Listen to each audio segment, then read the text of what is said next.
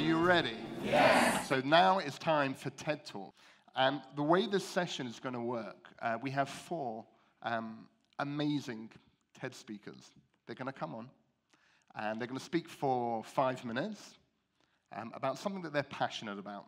All the four speakers are in the area of technology um, and social media, but all different areas, things that they are passionate about. That's the key.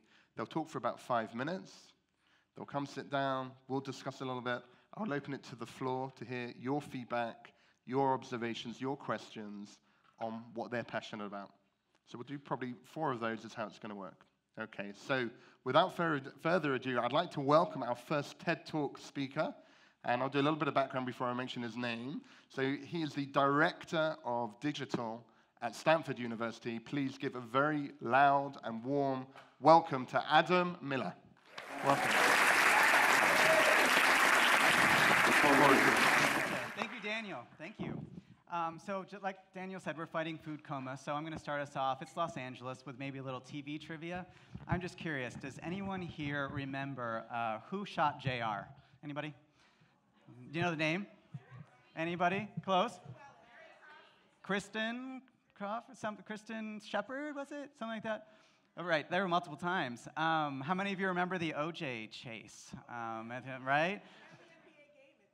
Right, exactly. There you go. There you go. How many of you remember um, Ellen's famous coming out episode in circa 1997, right? And uh, maybe a little bit more modern. How about the last episode of Breaking Bad? How many of you are part of that? So, in the television industry, um, those are known as water cooler moments, right? It's water cooler moment because it's a, a, defining, you know, moment in television history that people go home, go to work the next day and talk about around the water cooler. Now, those aren't long, detailed conversations, right? Those are just enough time to grab that cup of water and talk to the person that, that you work with. Um, but they're memorable, right? They're profound, they're meaningful. And those moments are happening on social now. It's much bigger than television, right? It can be about really anything. Um, so at Stanford, we've had some good luck with those. You never know where those moments are going to come from. We call them digital water cooler moments. Um, there was an interesting one. We have a library at Stanford called Meyer Library. Most people would say a little bit of an eyesore, right? It was known in some eras uh, of Stanford as um, ugly, was the nickname for it. That actually stood for something that was undergraduate library, ugly, kind of worked. Um, so, anyway, Stan- things changed at Stanford, so um, it was time to tear down Meyer Library. Um, so we kind of posted something on social that was, you know, any Meyer memories as we were showing the demolition starting to happen. And there was just an outpouring, right, of all these stories, right? We had 551 comments on that post. And they weren't LOL comments, they were deep stories across a whole bunch of eras, right? Um, really meaningful. We did some analysis on who actually uh, were, the people doing that commenting, and we found that 10% of those were actually some segments in our behavioral segmentation model that are really hard for us to reach. So we're getting some new kinds of people. And all of this just on an ordinary Thursday afternoon. This wasn't something that a lot of resources went into, a lot of planning went into. It's just sort of harnessing that moment. And at Stanford, we view social really as a program in its own right. You'll hear us talk about that. It's not a marketing channel, it's not a communication, right? It uh, isn't something that is set to drive conversions for anything within the Alumni Association or beyond. Don't get me wrong, we definitely help with conversions, and we're happy about that. In a recent uh, social media survey that we did, we found that 40% of our followers um, said that their experience with us on social made them more interested in attending events at Stanford. 30% more interested in reading the Stanford magazine, 30% more interested in volunteering, and 20% more interested in donating to the university, though that isn't our charge at the Alumni Association. We're separate from our development office. But buckle up, those aren't the biggest numbers. We actually asked a new question uh, this last social media survey that was trying to get at that program metric, right? Not the conversions, but the program metric. So, how are we doing as a program in our own right? We asked a question because of my experience on Stanford social media. I have dot, dot, dot, and we asked a series of activities, right? So, you heard me say 40% events, 30% magazine. We found that over 70% of people said that because of Stanford social media, they had learned something new, right? Isn't that kind of nice? Over 60% said they had been inspired by Stanford right? Over 60% um, had shared a moment of pride with others in the alumni or Stanford community. One of my personal favorites, over 60% said they'd had a laugh with us. right? And over 50% said that um, they had shared a defining moment in the life of the alumni community and felt uh, like Stanford was part of their daily life again, right? That's pretty profound. And that's really, you know, why is all of this important? This to us is, uh, in a lot of ways, the future of engagement, right? You have to look at this as a program, you know, invest in it, and look at your whole investment portfolio and how you invest in this along with the sort of more traditional programs that you do to kind of prepare for a world that is going to look different, right? Engagement will look different, and there will be new kinds of water coolers. So, my advice to all of you would be build true organic community. Strategically, think of your, your social efforts as a program and invest in them over a long horizon, right? Look out for those water cooler moments. You never know what they're going to be, um, so you kind of have to guess. But as a, as a quick hint, they're usually more about buildings getting torn down than buildings getting built, um, literally and metaphorically. Um, and then sort of, you know, go out there and seize that water cooler moment um, and do the best you can. So, thank you.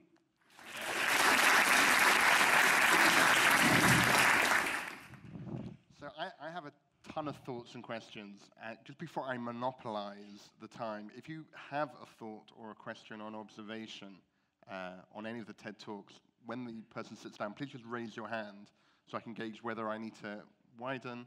Great. So we have one. Anyone else before I dive in? So, um, Robert, can we get some microphones? Mm-hmm. My question is, how do you navigate when the Alumni Association wants to be authentic around a topic that is controversial for the university, mm-hmm. and they're not really willing to be as authentic or forthcoming? How do you all handle that? Great question. A quick answer to that would be I think you have to use data. You have to really represent your audience. You almost consider yourself a little bit of a publication on social. So you report to your readers of that publication, right? So you want to tap into what they are already talking about and what they care about and sort of funnel that information keep that information, similar to what we heard in an earlier session, to the right people of, of, leadership at your institution at all levels. So keep that data flowing, and I think that helps you. And then I think, as you've heard from many people talking about social, is you don't want to shy away from it, right? I think you can really uh, show leadership um, within your institution and then your institution more broadly by actually tackling some of those with, with when you have something to say, when you have that right angle on that. Great question. I, th- I think it, w- it, was a, it was a very, very good question because I, if you think about these moments, yeah. the more controversial, the better. Right. In terms of social media, in terms of right. sharing, in terms of likes, in terms of it going wild, which is my experience of education institutions is that they can be, yeah. how can I put it, a little bit conservative and risk averse. Right. So, how would you balance that? I mean, yeah, I think, you know, I, I, completely agree. Apathy can be the enemy in alumni engagement. And like, do you want people just not to care, or do you want to fire them up a little bit? Not fire them up so that we're getting calls from all over our campus um, that aren't really happy, but um, at the same time to take some of these issues on. You know, we've done this with customer service, fails where we've had some problems, all the way up to more meaty kind of campus-wide discussions. But I think it's it's nice. It's back to the two-way kind of role that we play. Right? Controversy is good. Yeah. Controversy is engaging. It's the voice of the alumni community back to Stanford as right. well, or back to your institution. I think sometimes we're, we're almost uh, scared of our alumni. Right. right. so we, we want to engage them, but we're not prepared to, to give them the microphone. Yeah. And there's no hiding on social. So even if you think you are, you're not, right? Absolutely. So I, I, I, had another thought in terms of this seems like a great tactic. Yeah.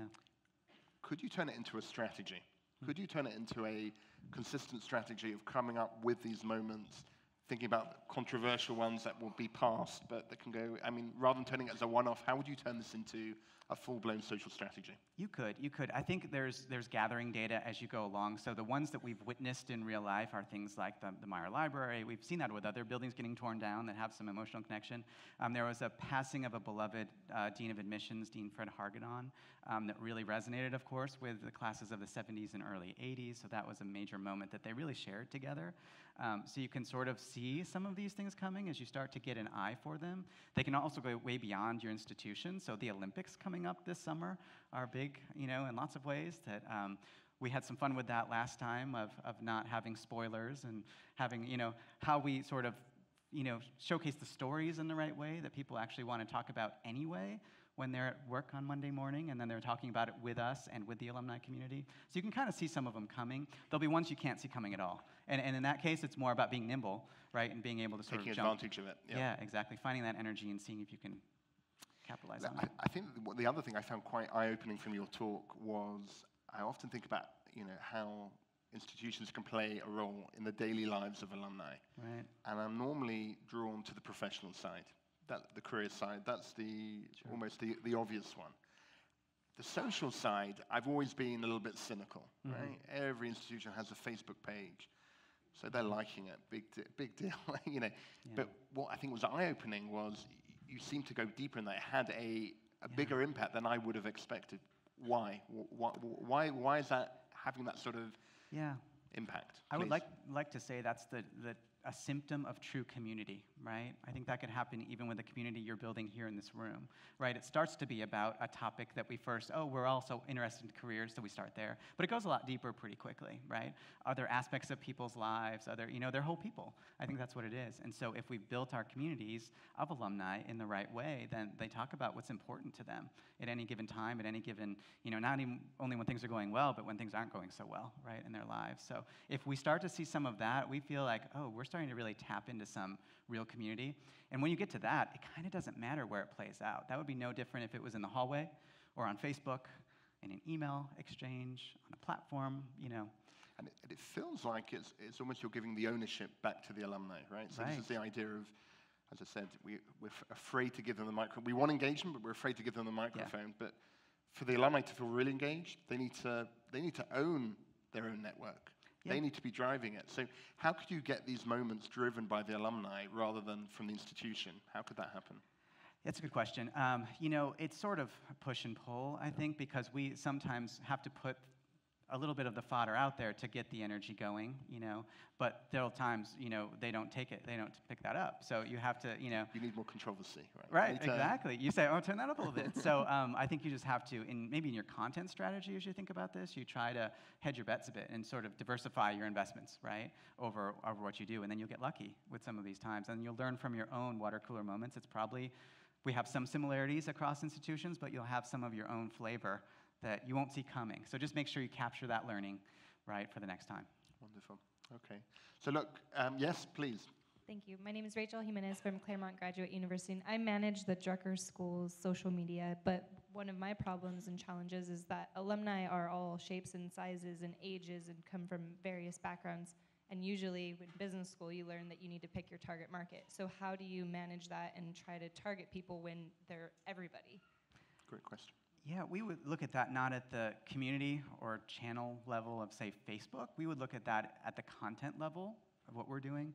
So we're trying to look at some different content that could appeal to some growth segments. Um, in our world, that's actually graduate-only alumni that we're trying to, you know, we have pretty good coverage of undergrad, as many of us do, but we've gone over to the grad student side of campus to try to, you know, they're installing some new roundabouts over there that are just kind of comical because it used to be an intersection of death where all the bikes would kind of, and now there are these roundabouts. So it's like something that will resonate with that grad only experience um, and just try some of these new, it's all experimental, as you know, in social. So you're, you're like the naughty boy of the department. Is that? No, no, so within, within ask that- Howard. within- well- sitting back well, there, He, he did mention it to me before. But it's, uh, all right. So look, I just want to, on behalf of everybody, say a big thank you to Adam. Adam, thank you very, very much.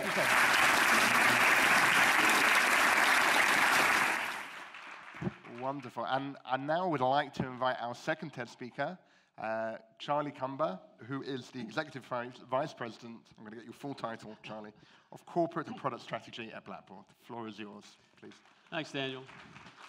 So I'd like to take five minutes and talk to you a little bit about technology and data and how it could help your organizations more effectively engage alumni. A study was recently published by CASE, the Council on Advancement for um, Education, and the number one thing that the study showed was important in colleges and universities today with social media is how can we drive alumni engagement?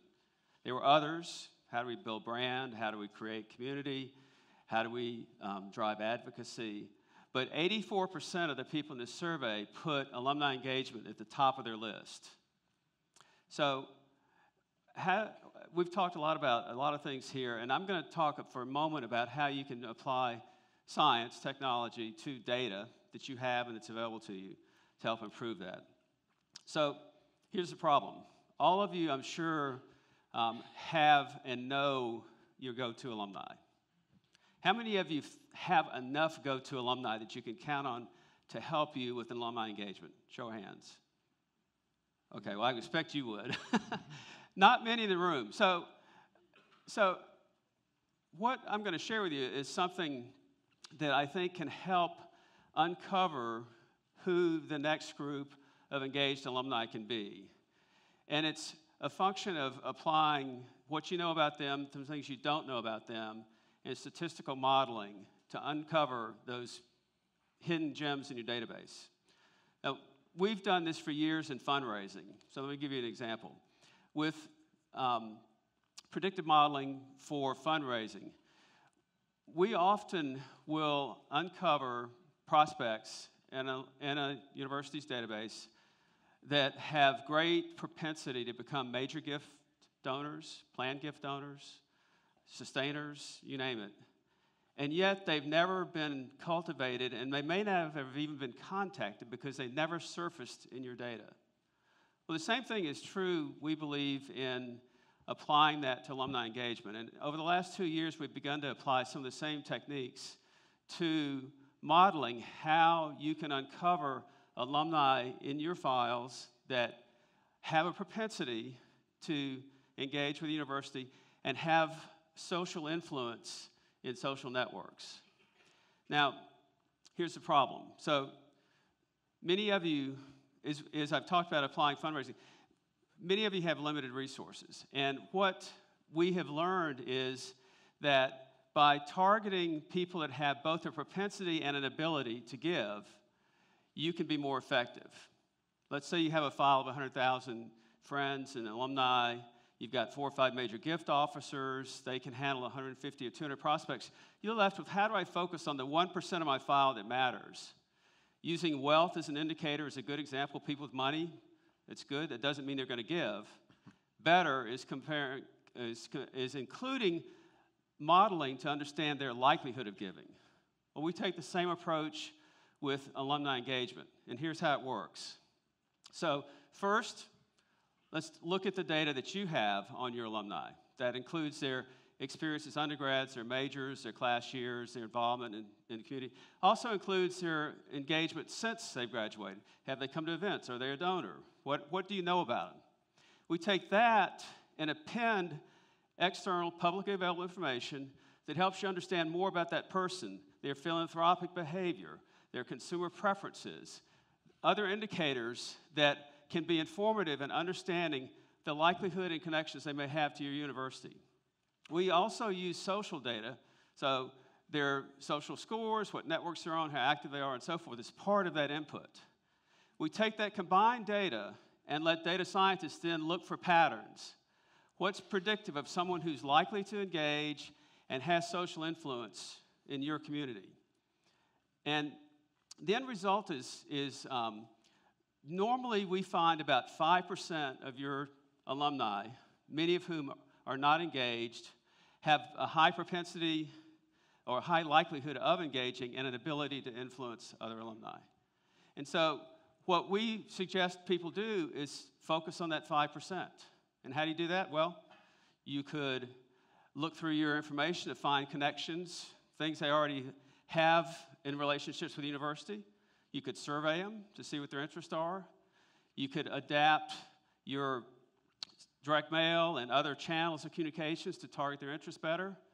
Include them, look at their geographic proximity to existing groups, events, opportunities to engage them. Finally, you might pick up the phone and call them. Chances are they'll take the call if, they, if the models are predictive, and we find they are. So at the end of the day, I think what, what we're enabling organizations to do is, is get to the next level of alumni that are most likely to be a benefit to your programs. And then using that with the scarce resources most of you have to go develop relationships with those alumni. Thanks a lot for your attention today. Look, it's, it's interesting that the, the whole area of big data Okay, big data has touched so many other industries, but yet our industry feels a little bit antiquated. Hasn't quite reached here.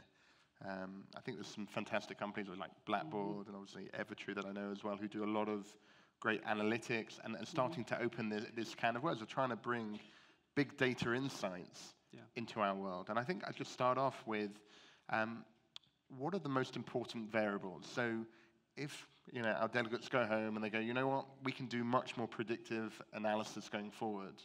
What is the core data that you think that they should start with? If they could only focus, let's say, on three data points, yeah, or variables, which would be the three that you I would don't focus actually think you can focus on three Okay. because they're usually different.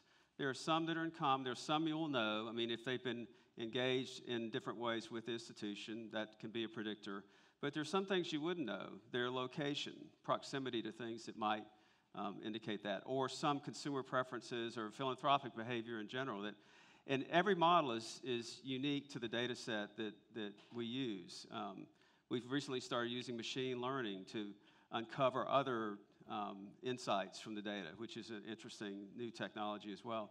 And I think what you have to do is pull as much information together as you, you do have, couple that with the appropriate external information, and then let the model, let the science point you to what's predictive of someone who's likely to engage.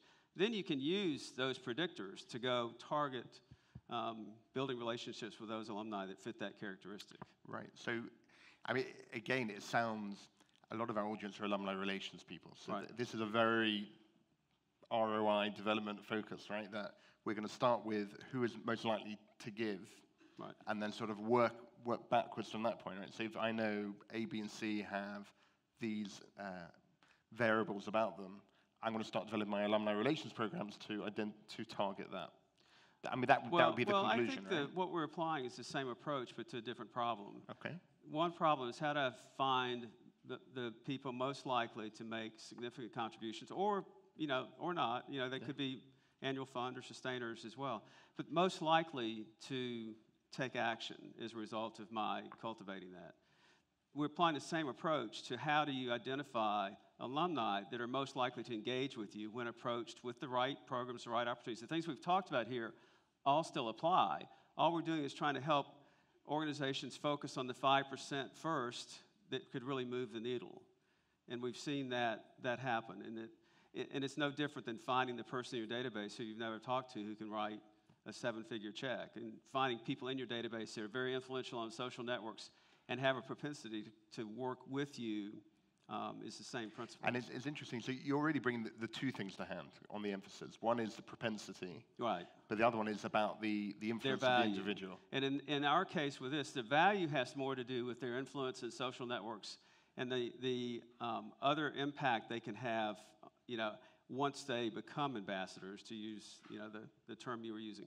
And, and it's no different than uh, the same was true with, with major gift or plan gift prospects. You want people who have the capacity and the propensity at the same time. So. I, I just want to open it to the floor. If there are any examples out there, and I'll come to you, of any of your work that you've done where you've done deep analytics, where you've done this sort of correlation to look at the predictions of anything anyone wanted to share. That you, I saw a hand. Did you want to? Oh, so, Okay. so if, if, oh, look around. So please ask your question. Great. My question went back to a comment that was made at the last session regarding a particular donor saying the stewardship, you didn't steward me correctly. And so there is identifying the ideal donors, that top 1%, as you mentioned, using behavioral science, which I just think mm-hmm. that's fantastic. But can we also use big data to look at best ways to steward a particular donor in a way to get that gift. So it's one, identifying, and two, then looking back at the steps through science and then coming up with a prescrip- prescriptive approach with your data set. So I, I think you can do that in certain cases. For example, if, if you're trying to model an improvement in your annual fund performance, um, you can model targeted ask amounts and things like that to, to improve the, the return on the annual fund effort. I think when you're talking about very influential people or very wealthy people, the homework you have to do on that individual, the relationship they have with you or don't, the connections they have among your group, and is a very individualized thing that somebody has to do in order to make the right first step and then learn from that step and continue the process. And, and I, I don't think we've ever really modeled for major gift prospects do these five things and they'll write a big check. So, um, and I, I don't think it works in the, the case of engaging alumni either. Great. So when you find somebody who's very influential and has a high score, we, when we do this, we score them 1 to 1,000. And if somebody has a score in the 900 to 1,000 range, they're highly likely to engage. So then it's a matter of figuring out what their interests are, how to engage them, and how to get them to take that first step, and then build on that. And there's a question just behind you, Robert. Was it Aristotle that says choice, not chance, determines destiny? And I, I really believe that data is helping us make many more wise decisions in how we allocate resources and develop strategy. The concern I hear from a few out there in our world of global terrorism is we are the keepers and stewards of some phenomenal data on people. We have their children's names, their social security numbers, where they work, live, and have been their whole life. As an industry leader, what are you doing to address uh, any concerns out there about the care and the keeping of that data? Well, so there, are two answers to your question. One is there are data privacy um, regulations that are different in different parts of the world, and, and we do our best to respect those and understand them. The second is um, in our efforts to strengthen our products in light of some of those concerns, we've chosen to partner with um, major providers, in the case, in our case, Amazon and, and Microsoft, who are experts in, in providing highly secure, highly reliable, highly performant infrastructure on which to run our applications. And we rely on them heavily for some of the security and data protection that you need. And, and if you look at what some of them are doing and the kind of clients they work with, it's really phenomenal. So we're not trying to be experts in that area. We're trying to leverage their skills, their ability to invest at a global scale that, that we don't have. And and bring that to um, organizations like yours. Wonderful.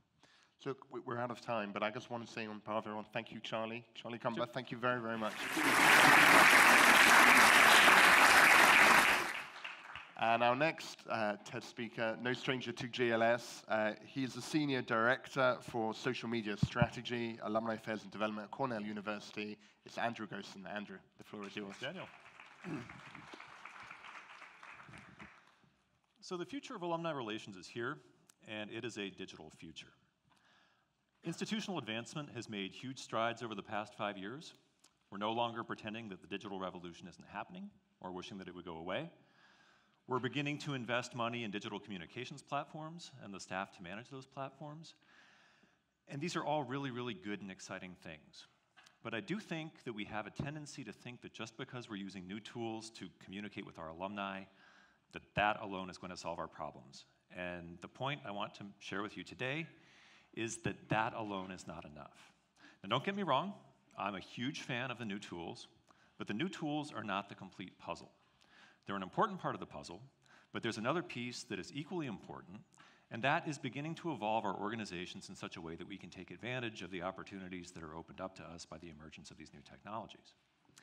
There's actually a term for this kind of a transition. It's called Digital First, and it's an idea that's been getting increasing traction over the past couple of years. What it means is a shift in the way that we do things and the way that we think about what we're doing in such a way that digital becomes our new default setting. I first came across the idea of digital first in the New York Times Digital Innovation Report, which was released back in spring of 2014. The report was commissioned by the Times in response to their realization that their current business model was no longer competitive. Everything that the Times did, from its org chart to its business processes to its editorial process, revolved around the production and distribution of a daily print newspaper. Sure, they had a website, but that was simply viewed as an add on that was an additional channel they could use to push out content that they were making through their established processes. They realized they had a problem when they figured out that BuzzFeed was taking content from the Times, chopping it up, reformatting it in BuzzFeed formats like listicles, and then drawing audiences that were orders of magnitude larger than the audiences that the Times was getting on its own website. They took a close look at BuzzFeed and some of the other digital platforms that had been evolving in the publishing space over the past couple or three years, And they realized that they had to make some fundamental changes in the way that they approached their business in order to remain competitive in the long term. I think that alumni relations is in a position that's very similar to where the New York Times was. We've done some great work over the past decades and we've served our institutions really well. But the world in which we're working is changing, and the way that we work needs to change as well. so, I've spent a lot of time over the past 18 months thinking about what digital first alumni relations might look like. And I'm sad to tell you that I don't have any answers, although I have a lot of great questions. In the process of doing this, I've also come across a series of ideas that I'm pretty sure are going to play an important role in those answers once they, start, start, once they finally start coming into focus. And I'd like to share one of these with you in the remainder of my time today. It has to do with networks.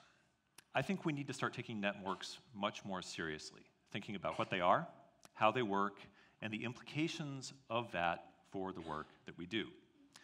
One of the most interesting things that I've encountered recently about networks comes from Stanley McChrystal, who's a former American general who served in Iraq and Afghanistan, and who currently is utilizing some of his insights from his career in the service in the field of organizational change. When McChrystal arrived in Iraq in 2003 to take charge of the U.S. Joint Special Operations Task Force, he was confronted with a really pressing problem. How was it that the world's most powerful military was having such a hard time coming to terms with Al Qaeda in Iraq, an opponent that by any standard was smaller, disorganized, and much less well equipped. He ultimately concluded that it had something to do with the way that the units under his command were organized and the way that they worked together. The US military, of course, is famously regimented and hierarchical, and against an opponent organized in a similar way, they're almost impossible to beat. The problem was that that wasn't how Al Qaeda in Iraq was organized. Al Qaeda in Iraq was a loose, diffuse, constantly shifting group of people that grew and contracted as circumstances on the ground changed. They were a network, and McChrystal's organization couldn't cope with that. So he started thinking about this, and ultimately he had this flash of insight when he asked himself the question maybe it takes a network to defeat a network. So if you're in the military, of course, you're not going to be able to say, okay, we're doing away with rank and chain of command, and everybody can do whatever they want whenever they want. That's, that's a non starter.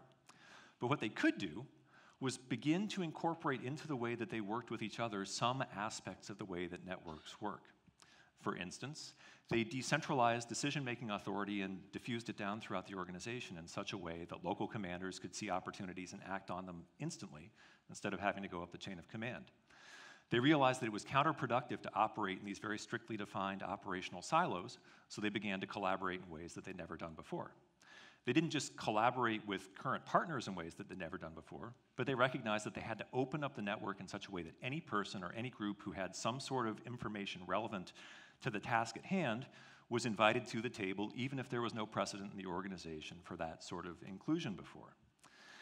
When it came to deciding who was involved in things, they realized that competence had to take priority over rank, they realized that they couldn't afford to take anything for granted, either about their own organization or about their opponent. So they implemented a process whereby they were constantly interrogating all of their fundamental assumptions about who they were and what they were doing.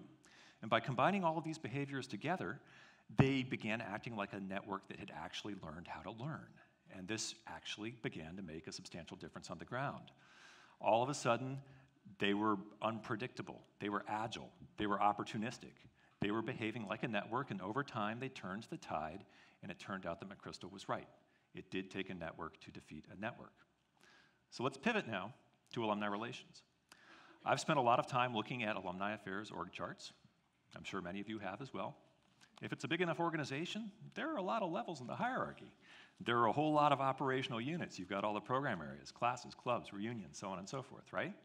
So I'm not naive enough to think that we can do away with all that but I do think that if we took some of these insights that McChrystal derived from his experience in Iraq and began to apply them in our organizations, we would make some fundamental changes that would put us in a much better position to take advantage of the opportunities that are opened up to us by these new technologies.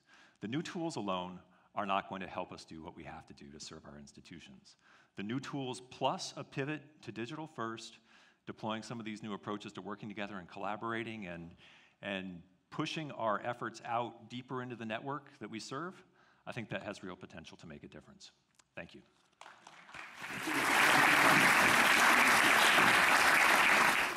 It's a great talk, Andrew. Um, I often um, will speak to an institution who will very apologetically begin the conversation by saying, look, we're new to alumni relations. Uh, we have no history in it. We've never done anything before. I'm a one man show, okay? And I think fantastic because I also deal with the other extreme mm-hmm. of organizations who are massive, who've been doing tons of things for years, who are stuck in the mud and so bureaucratic they can't think and they can't change and they can't do. And wouldn't it be nice to start from a blank piece of paper? That's pretty scary to do. And so the question for you, Andrew, I'm talking too much, but the question would mm-hmm. be for you if I gave you that blank piece of paper, where would you start? I think it's really important when we're thinking about digital first not to throw the baby out with the bathwater.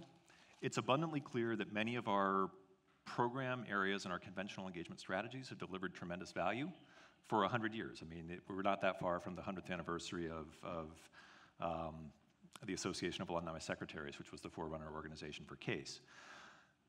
So we don't want to lose what we've got, but at the same time, we want to acknowledge that there is a ceiling to what those programs can do for us.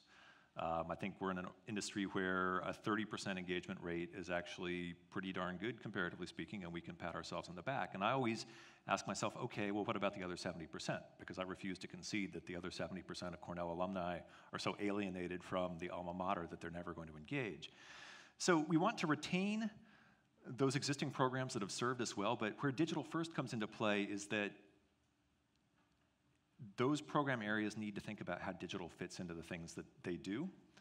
Then following on from that, I really I liked Adam's point about thinking about social as a program area, and I really very much think of digital as a program area in and of itself uh, because we've got huge populations there with people scattered all throughout the pyramid, all sorts of capacity, all sorts of different types of interest, um, a range of diversity that we may not see in populations that we're engaging through other other program areas, and we need to start thinking carefully and strategically about how we're going to use digital to reach out and engage those. So I, I think it's a combination of the old and the new, but recognizing that the old needs to think about how digital can transform what they do.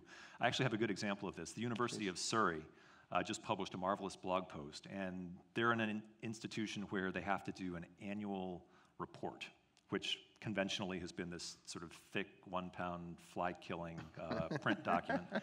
And they did an experiment, and they had the digital team sit down with the people who had produced this from the very beginning, and they strategized a, a new way to go about doing this. So they still produced the print report, but they also produced a series of 90 second videos that pulled, called out particularly interesting bits, and they put together an infographic. And one of these videos drew 81,000 views. And can you imagine 81,000 people being interested in any aspect of an annual report? No. That absolutely blows my mind. And I think that's a great example of what we can do if we use this digital first idea to just reconceptualize a lot of the stuff we've always been doing in the past. Before I ask my three or four more questions I have, I just want to hog the floor. Has anyone got any thoughts or questions? Otherwise, oh, please.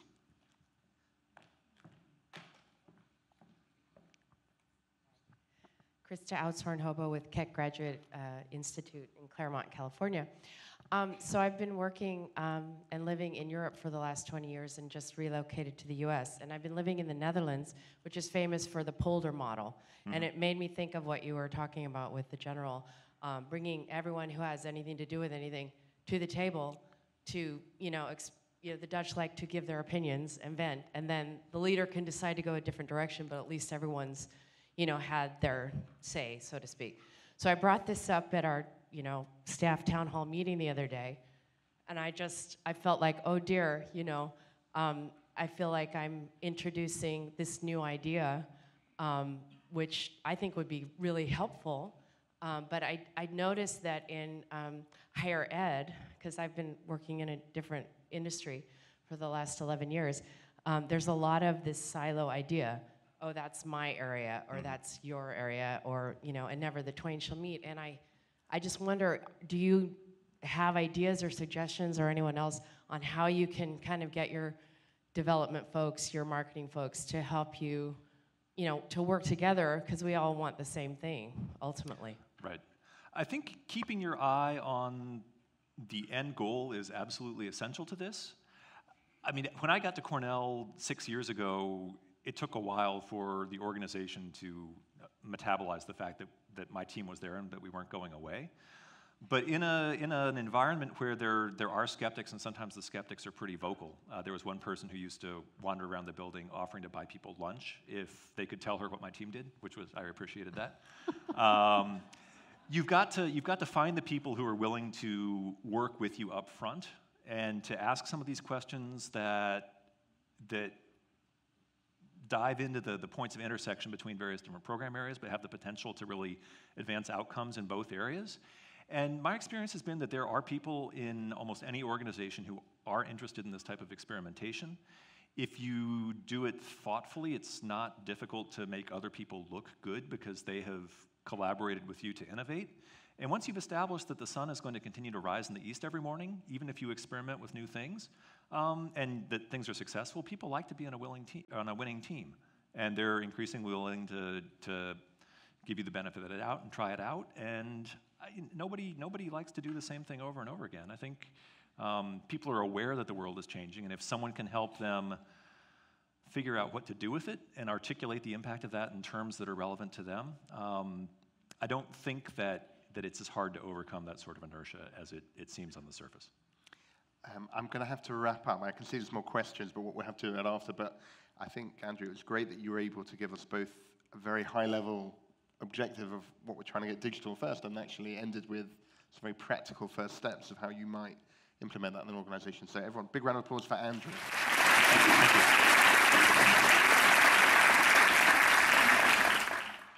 And last but definitely not least, um, I'm going to welcome the Director of Career Services at Princeton University, um, Eva Kubu. And Eva, we're going to start with a video.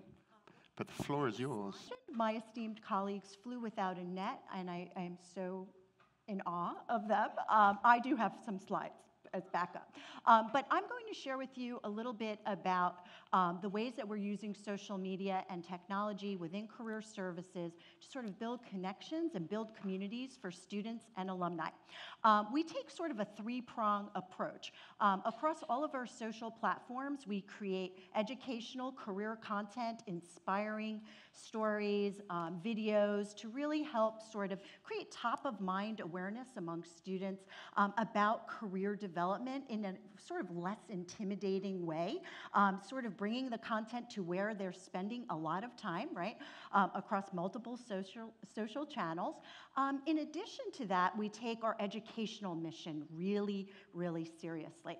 Um, so that in one-on-one advising with students and alumni, we're providing LinkedIn profile critiques. We're sharing with them how to establish thought leadership among, you know, across various social channels. We're directing them to the many interest-based communities that exist among our alumni and also various professional groups. Um, so in that way, we're sort of inspiring them to use social media for their own personal and professional branding, um, and, and also helping them to connect for a lifetime with some of these communities. Um, and sort of the third way um, that we're using social media is to proactively go out and source opportunities for our students and proactively build those connections and those communities that don't exist today um, and ensure that they're there for those students and alumni um, as those interests start to evolve and change and grow over the course of their lifetime and their careers. Um, so that's sort of the genesis around um, where the idea for Princeton Social Media Day came from. We took this really sort of broad-based community approach to educating and um, sort of inspiring our community to use um, social media to connect and build communities. And so how could we do that if we weren't really sort of engaging the entire campus in this conversation? Um, so one of, one of the uh, we want to cue this slide. Uh, one of the fun little facts I like to point out is we like to engage in fun and sort of, as I said, non-intimidating ways. Um, the Princeton Entrepreneur Club last uh, semester actually dubbed me the fairy job mother.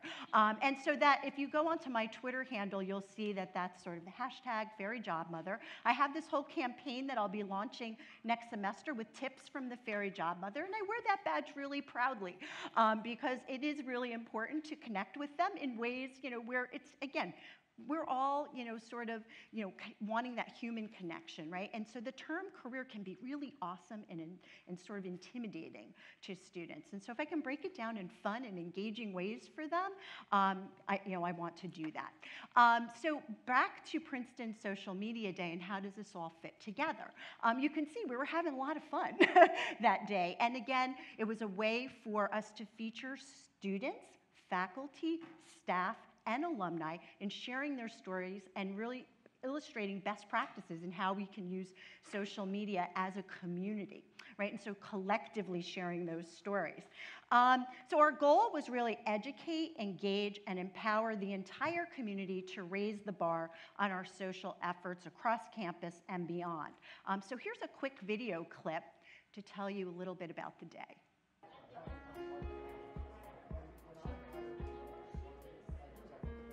Social, it's just changed the way we think about professional and personal, and it has blended everything together. And everybody in our world is in this space. Man, that changes the party, right? We actually have a whole generation of kids out there right now who have never experienced a world in which touchscreen devices with constant connectivity doesn't exist. And there is no way that 40% of the planet can start doing something without triggering some social and cultural changes. I do think what we're all talking about in a way is a kind of thought leadership. These platforms allow us to join ongoing conversations, to get the work out, to find the niche communities, and to sort of curate conversations that might not be happening elsewhere. Today's goal is to really inspire all of us faculty, staff, and students to take our social media efforts to new heights. We do have individual social media doctoring sessions. We also have two professional photographers who are on hand to give free profile headshot photos all day long. So that just gives you a little flavor. For more information, you can certainly read my blog on LinkedIn. It's sort of epically long, but there was lots happening and lots of great conversations. So we had three guiding principles for the day. Help everyone learn, share, and connect. And we did this, and we were really intentional about doing this in a really collaborative way across campus. So we partnered with every corner of the campus um, and enlisting their support in reaching out to alumni that we could bring back as industry experts to share all the different ways that they were using social media in their industries. In particular, we wanted to focus on industries that were sort of underrepresented with respect to those opportunities coming to campus. So the arts, they don't, they don't recruit in the traditional ways in the arts, right? So it's really important to build these communities and these connections, and also to, to really look to your alums in those industries to become champions for your students and advocates for your students. So we wanted to feature, so we had uh, alums from journalism, the arts, um, entrepreneur. We had uh, many uh, alums that came back from the Princeton Entrepreneur Network to share the stories of how they were using social media. And so this really sort of fueled the day. Um, really, again, I think one of the things that we wanted to do was also sort of rebrand the Career Center in this, in this way as well, because we were shifting from a very traditional career services oriented model where you know you offer sort of a menu of services and students and alums can engage with you or not. It's sort of you know a volitional service. We were shifting away from that to become much more a career connections mm. model and to be really proactive about the ways that we were engaging employers and alumni and bringing those opportunities back to campus and making those connections and communities happen. Um, the other thing that we really did was we tried to innovate, or, or rather showcase all of the innovative ways that social media was already being used across campus. Um, so ways that our faculty and staff and others were using social media to tell our institutional story. Um, so from athletics to alumni affairs, communications, admissions, and, and beyond. Here are some of the stats, you know, I mean, just one day of you know 14 sessions yielded all of this information. So 11.6 million impressions. We were uh, featured in 19 different countries. Actually, we were trending in the U.S. and in Scotland. Um, our, our Uh, one of the institutions, University of Western Scotland, has a, a statue of John Witherspoon, who was the sixth president of Princeton University. They have the same statue as we do. And so they were tweeting and following along all day and sort of egg, egging us on. Um, we had 250 folks get, you know, LinkedIn profile headshots. If nothing else, that was a huge service, I think, um, you know, in getting rid of the sort of vacant head on most people's profiles, right? Um, 165 patients for our social media doctors, literally one-on-one advising. Um, we brought in uh, someone from LinkedIn. We had several consultants along with our Career Center staff sitting there giving them that one-on-one. Um, so again, 1.4 million people reached with 580 posts. There was a lot of traction, and there still is Wow. a lot of traction on the PU Social Day hashtag. So we go to the next slide. Some of the feedback from our participants um, included everyone, you know, and again, anecdotal. This is anecdotal feedback. This was also feedback from focus groups, um, and as we gathered for debrief sessions with every one of our campus partners. Um, learned at least one new tool or tactic, um, improved one or more of their current profiles, expanded their social repertoire to include a new platform. More people were going off to Instagram than we've ever seen, um, raised awareness of the importance of their digital identity. Again, really important for the students, but also just sort of more broadly across campus for faculty and staff. Um, boosted their confidence in using social media. It was really important to us to offer content that would appeal to every level of social media expertise. So from the beginner to the novice, you know, sort of to the expert level. Um, and gained an understanding of ways that they could use social media, um, again, or ways social media was being used by alumni in those specific professions. I think the last thing um, was that everyone reported having connected with at least two or more individuals in interest-based communities. Brilliant. How fabulous is that in one day to have those connections fired up in that way? Um, so, And, uh, um, amazing. I want to grill you. So please. Eva, thank you very, very much.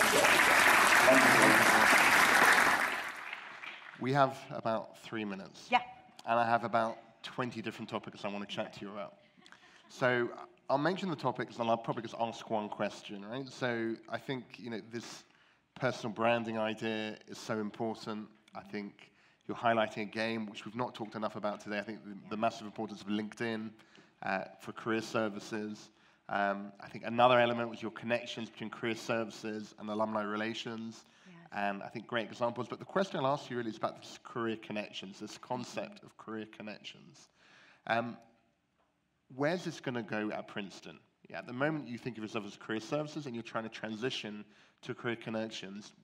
What, what will that look like in two years' time when we bring you back and you'll you'll talk about career connections, what you've done at Princeton? How will that? How will your department change going forward? Yeah, so, so two important ways. I mean, we've changed our mission um, to really focus on helping students define a unique and career, career and life vision for themselves, and then really proactively and um, sort of in personalized and multidimensional ways help to connect them to the people, the resources, the organizations, and the opportunities that will help them bring that career and life vision um, to reality.